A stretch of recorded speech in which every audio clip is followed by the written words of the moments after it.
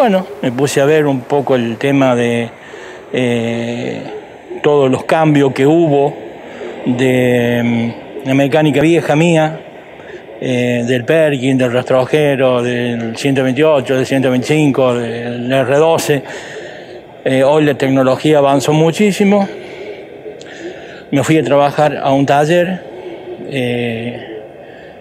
que ahí aprendí lo nuevo y bueno, mm, tenía el local, el galpón que es mío y eh, un buen día dije, em, vamos a hacer eh, lo que hacía antes solo, lo voy a volver a hacer. Y, y acá estoy, trabajando, tranquilo, solo, eh, con una muy buena clientela. Me animé a, a, un desafío en el medio de la pandemia, como dijiste vos, a ver lo que pasaba. O sea, eh, yo sé que trabajo hay, porque trabajo en la mecánica hay, hay muchísimos autos, y bueno, mucho o poco, algo iba a hacer. Y es así, y estoy trabajando, y estoy trabajando bien.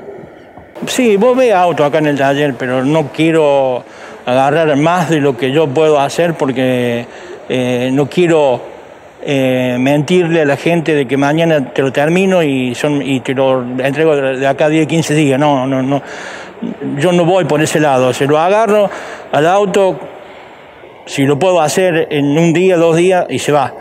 Y agarro otro y así. Ha cambiado muchísimo. Si bien es cierto que la base de la mecánica es la misma, el funcionamiento de un motor es el mismo, pero hoy la tecnología avanzó muchísimo, pero muchísimo. Y si vos no tenés el equipamiento especial para cada cosa, eh, no podés trabajar. Hoy no podés trabajar. Hoy un taller sin un escáner eh, no puede trabajar. Eh, invertí, invertí en, en, un escáner de última generación, invertí en un en, un, chip, tuning, eh, que es un aparato que eh, va a dar eh, muy buenos resultados, que, está dando buenos resultados, pero que lo va, se va a usar mucho en la tecnología de acá en adelante por el, tema de que es un equipo de que te da potencia, le da potencia al motor y le saca consumo. lo que el cliente quiera hacer con el motor, ese aparato lo hace. Y bueno, eh, lo invertí, lo compré, lo tengo y estoy trabajando con eso. Eh, eso se está moviendo poquito, se está moviendo. Eh, las camionetas quedan muy, pero muy bien.